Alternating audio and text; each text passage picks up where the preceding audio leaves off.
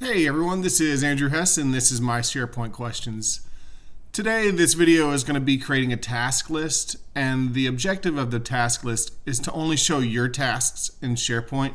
So uh, depending on who the user is, when they look at the SharePoint list, they're only going to see the tasks that they own, but there will be one central owner who assigns the task to the different uh, resources. So Thank you guys for watching. Please like, please subscribe. Maybe if I say it twice, please like, subscribe, and uh, we'll get into it. All right, so I've already connected to my SharePoint list. I'm going to insert a form. So I'm going to go to Form, Edit. I'm going to connect to my data source, which is my tasks. So that's the name of my task list in SharePoint. So we can see here my tasks. I have a few columns that make up this list. Uh, my task, which is the title field renamed, uh, due date, actual time, and resource. So we have uh, single line text, date, uh, single line text, and then a people picker. So in this form, I'm going to do edit fields. I'm just going to add those columns. So we have due date, actual time, my task and resource. There we go. So I'm going to add those columns to my form. All right, and we can just drag and drop the tasks as we want them or the properties as we want them. Make this a lot bigger.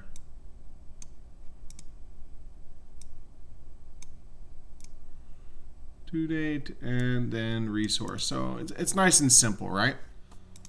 All right, so we have our form. Let's create a few buttons here. So we will have a submit button, a new form button. So this will be submit, new, and this will be back. So let's do submit.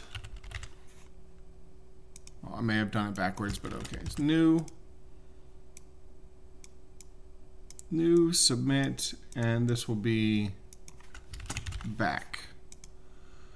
So in order to go back, we're going to need a new screen. So I'll just create a new screen for now.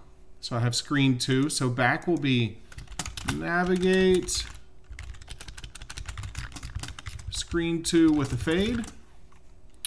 New will be new form, form one. That's my form down there. Notice it highlighted in green and submit form form 1. All right, so when we press play, you'll notice our form is blank. So we can do new form here. And we can create something, let's say, uh, create the SharePoint list. The due date will be today. It will take one hour. So this is just a single line text field. The resource will be myself and I will submit. All right, so when we check out SharePoint, we see that we have create the SharePoint list, due date is 2-6, actual time, single line text, and resource is myself. So let's go back to Power Apps. All right, we're in Power Apps. Let's click the back button. So we're on our screen two. On screen two, we're gonna add a gallery and it's going to be connected to my tasks. That's our SharePoint list. And you notice we have one task in there. I'm going to remove this image real quick. All right, so we have our one task, create the SharePoint list. Now when we click this arrow, we can make this a button, we can make this an arrow. What we're going to do, we're going to say after it selects the parents, we're going to navigate to screen one on a fade.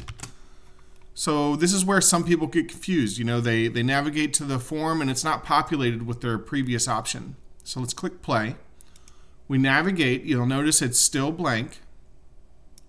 So what we need to do is go to our form and fill out the item property. So on our form, on the left side, we can go to item and we can say this is equal to gallery 3. So that's actually my gallery. It's actually gallery 3. For you, it might be gallery 1 dot selected. So now it's populated with our selection. So let's go back. We click the arrow. It's populated with our, our selection. if we were to change it to, well, I'll add a 2 on there, and then I'll submit.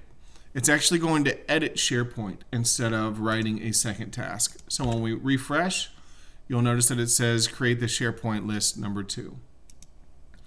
So that, that's how you edit. Now, you can leave a new button here, or if we go back on our gallery screen, we can say, we can change this button and we can call it uh, new task. Let's just call it that, new task. And on this, what we're going to do is we're going to do a new form, form one, and then after that, we're going to navigate to screen one with a fade. All right, so now if we hit new task, you'll notice that it's now blank. So we can go and say uh, create, create work breakdown structure. Uh, we could say this is, oh, this was before on Friday. It actually took us four hours. And once again, the resource was myself. So we'll submit. Now, if you notice when we hit submit, it, it kind of populated the edit list. So let's fix that. Once we submit, what we want to do is we want to navigate back to screen two on a fade. So we'll click new again and we'll, um, let's say add specified resources. And we'll do that on the 8th, and this will take us one hour. And once again, the resource is myself. And then we'll submit. So now that takes us back. You notice we have three options now here. Create the SharePoint list too, because we edited it. And then create the work breakdown structure and add specified resources. All right, so let me show you another uh, spot where people get stuck on. So if they click on new task and then they go back, and then you click here, you'll notice that it's still stuck on new tasks. So we want to change that back to edit mode. So when we click on this arrow here, what we want to do is right before navigate, we want to reset the form. So reset form, form one. So right before we navigate, we're resetting the form back to edit mode. So we can click on new task, it's blank go back, click on the arrow. It's now back into edit mode of that list property. So back, edit this one, create work breakdown structure. Edit this one, add specified resources. All right. So now for the little bit of magic that SharePoint can do for you. So let's uh, create a new task. And this is going to be test the product and the due date will be the 18th. Actual time, we'll give it uh, 8 hours. And this is going to be done by Homer Simpson. All right, so we're going to submit. All right, let's add a little bit more, or let's give ourselves a little bit more space so we can see all four of those now. We can see the four list items. So let's go to SharePoint and do, this is where the magic actually happens. So we have our four list items here. And we can see the resource is myself, myself, myself, and then Homer Simpson. So we're going to go into settings, list settings. And so I'm going to create a view. When I create a view, I'm going to start from an existing view called all items. And this view I'm going to call My Tasks.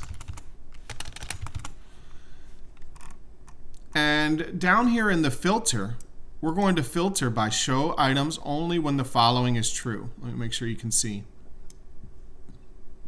So filter, show items when the following is true. Show items when resource is equal to me. So that's a bracket, capital M, E, bracket. I'm going to go back up to the top and I'm going to select the check mark here to make this the default view. And then I'm going to click OK. So now you see that I'm only seeing tasks assigned to me. I have two views in SharePoint right now. So I have my tasks and all items. So under my tasks, I only see the ones assigned to me. In all items, you can see all of the tasks assigned to everyone.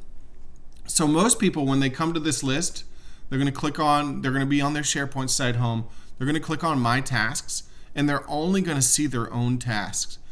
Now, this is awesome. This is what a lot of people can use. Uh, you're not going to see everyone's task if you want to. If you're the owner of the list, or maybe you uh, just want to see all the tasks in a row, you can click on the all items and then see all of the tasks. So that's just a very simple way to make a, a, a task list. Let's let's add one more just to kind of show off. Let's uh, add one more up here. I'll make a little bit more space.